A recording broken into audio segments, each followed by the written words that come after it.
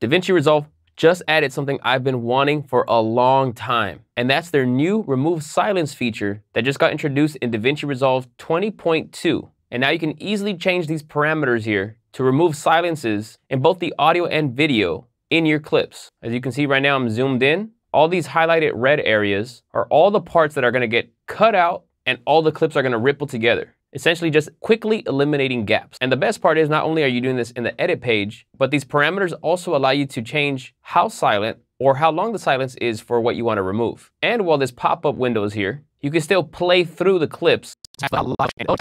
Speeds create rolling shutter, which I hate. So you can actually hear the audio before you commit to this action. I'm gonna cancel this right now. Let me show you how to get into that in DaVinci Resolve 20.2. You're gonna wanna make sure that you have a clip selected. Now this could work for just audio or video and audio that's linked, as you can see here. Once selected, go up to clip, up at the top, and then we're to scroll down to where it says audio operations. Move to the right and then go to ripple delete silence. Now by default, there's no keyboard shortcut. However, I assigned one myself, Alt Shift A, so that without having to go up here, I could just have my clip selected and do my keyboard shortcut. But if you don't have the keyboard shortcut, the moment you click it here under clip audio operations, ripple delete silence, it'll open up the remove silence window. Now I'm gonna zoom into my clips. Now this lets you really fine tune what you're cutting out. As you can see right now, there's this little piece here that didn't cut out, and that was just my phone mount tapping the table. But that seems lower than pretty much any of my dialogue, so I'm actually gonna change my threshold till it covers that. So any of those little table taps will be removed.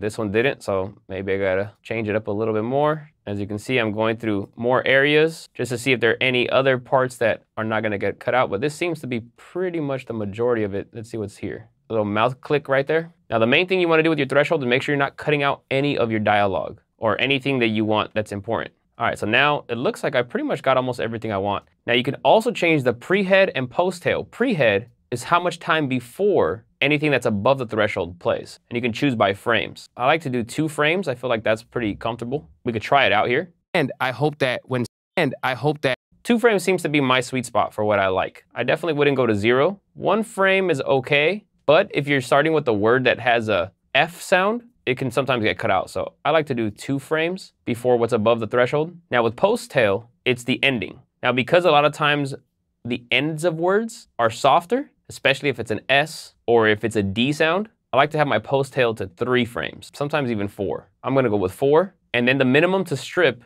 is how short of a time you wanna cut out. Now I found that if you go too short, it's gonna cut out the tiniest pauses, which then sounds a little unnatural. So you wanna make sure that you're not cutting out any small little pauses that sound okay. Five frames to me for the minimum to strip seems pretty consistent for my voice, for my recording. And then if you click on crossfade audio, it'll crossfade audio clips that are cut. I tend to not use this, but let me just check it so you can see what it looks like. All right, so now we have everything how we want it.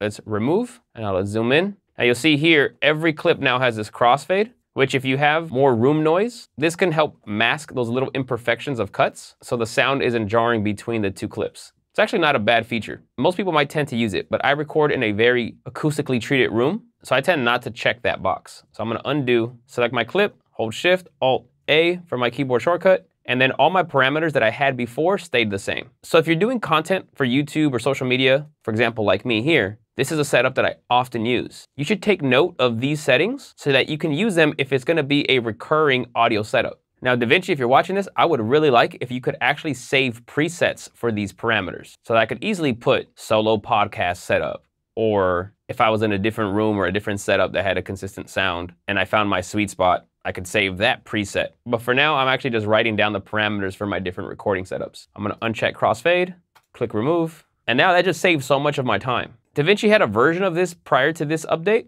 but it honestly sucked. Now, this is exactly what we've been wanting. Just DaVinci, please add that preset option. So there you have it. That's the new Ripple Delete Silence feature in DaVinci Resolve 20.2. Now on this channel, I do have a DaVinci Resolve playlist with a lot more tutorials, so please make sure to check that out. Hopefully this video helped you. If it did, please drop a like on this video, comment below if you have any questions, and please make sure to subscribe. I have a lot more videos coming soon. I'll catch you guys on the next one. Peace.